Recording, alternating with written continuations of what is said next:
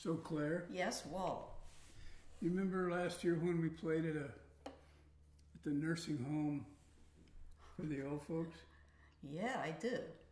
and uh, and they had a meeting right before we played, and this one lady got up in front and said, "If anybody can guess what's in my hand, they can stay with me in my room tonight."